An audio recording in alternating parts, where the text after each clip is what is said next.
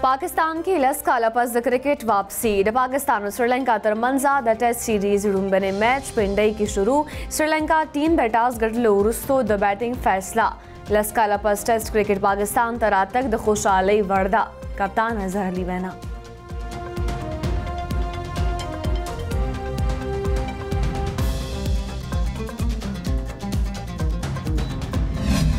د خارجه چارو وزیر شاه محمود قریشي په یو ورځنۍ دوره سعودي عرب ته د پاکستاني سفیر او سعودي خارجه وزارت اعلی حکام د شاه محمود قریشي استقبال کړي قریشي به سعودي حکام او مختلف رهنماو سره ملاقاتونه کوي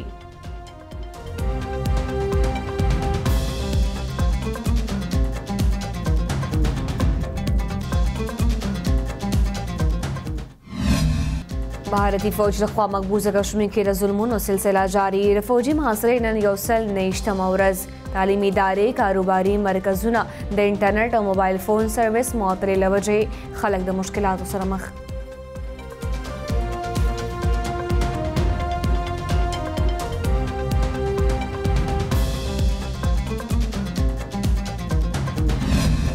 کشمیری ولس را اظهار یکجهتی د نوقار هندو مسیحي او سګ برادرۍ له طرفه ریلیانې پخوانی تحصیل ممبر دلراج وای کشمیر د پاکستان شهرک دی او پاکستان ماشوم ماشوم د کشمیر عوام سره ولاړ دی اقوام متحده دی ظلمونو بندولو کې خپل کردار ادا کړي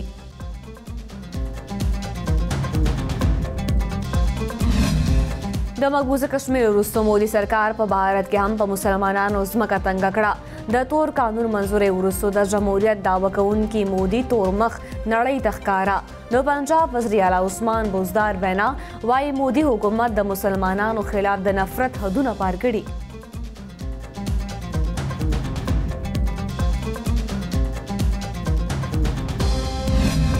امریکې لخوا پخوانی ایس ایس پی ملي راونوار په شمول په اتلس کسانو بندیزونه راونوار د جعلي پولیس انکاونټرو ذمه وار دی امریکي محکمه خزاني رپورټ رپورټ تر مخه راونوار یو سل نوي جعلي مقابلو کې څلور سوه نه زیات بېګناه کسان وژلي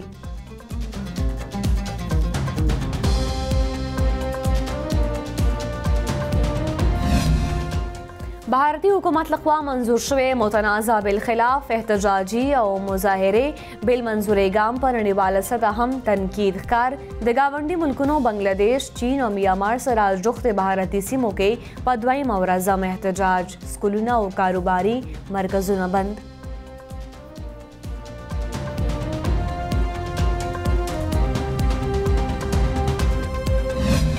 د آرمي چیف جنرال قمر جاوید باجوا په مشرۍ کې کور کمانډر کانفرنس کانفرنس کې د وسلوال فوجیانو په پیشهورانو او اپریشنل امورو تبادله خیال ډي جي آی اس پي آر میجر جنرال آصف غفور ونن مهم پریس کانفرنس کوي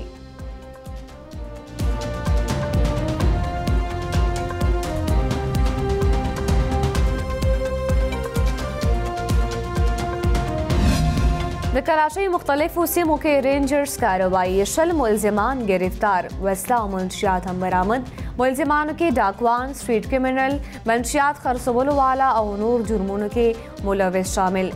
رینجرز ترجمان وینا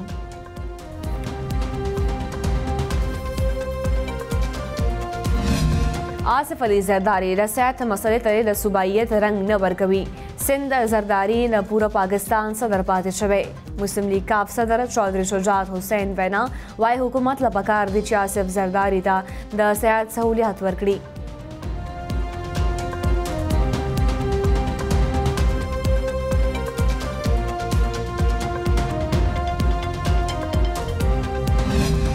د پاکستان تر سیلات زر 9.35 فیصد اضافي سره یو ارب یو اتیا کروڑ او 90 لک ډالر غیر ملکی آمدنۍ کې 9.05 فیصد یعنی 13 کروڑ او 10 زره ډالر کمی راغلی سټیټ بانک اف پاکستان وینا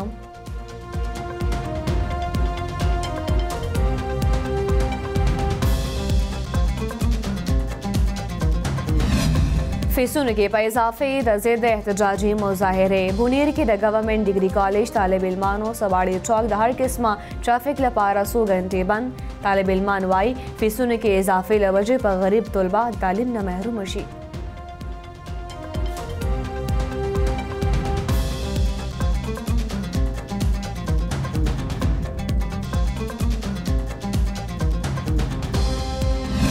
د کویټه سیمه پښتون آباد کې د ګیس لیکیج لوجې چاودنه درې زنانه او ماشومان په شمول پنځه کسان سوځېدلي ریسکیو تر مخه واقعیا پښتون آباد د خوشحال خان روډ سره نږدې شوی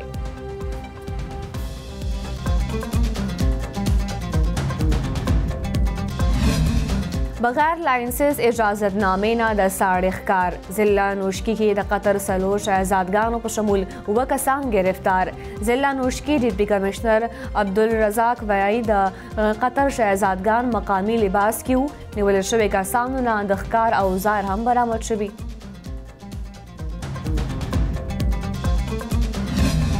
افغانستان بګرام ضلع کې دوه امني چاودنې نتیجه کې 15 تنان ژوبل غیر ملکی میډیا وايي د مګو د امریکای فوجي ایربیس شوې ده د شرخوخو او سکیورټي فورسز ترمنځ تقریبا 10 منټه پورې انخته هم شوه د پروان ولایت گورنر ترجمان واحد شاهکار وینا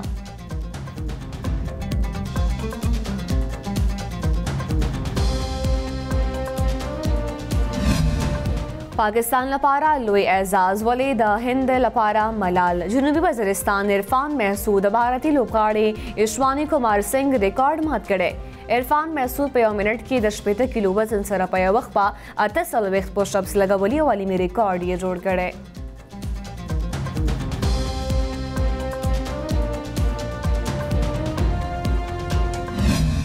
د پاکستان اردو ژبې فلم سرچ با روانې میاشت په شلمه نیټه ټول ملک کې ریلیز کیږي فلم مرکزي کردارونو کې ذوالفقار شیخ تنظیما شیخ علیزه شیخ اسد زمان او اشرف خان شامل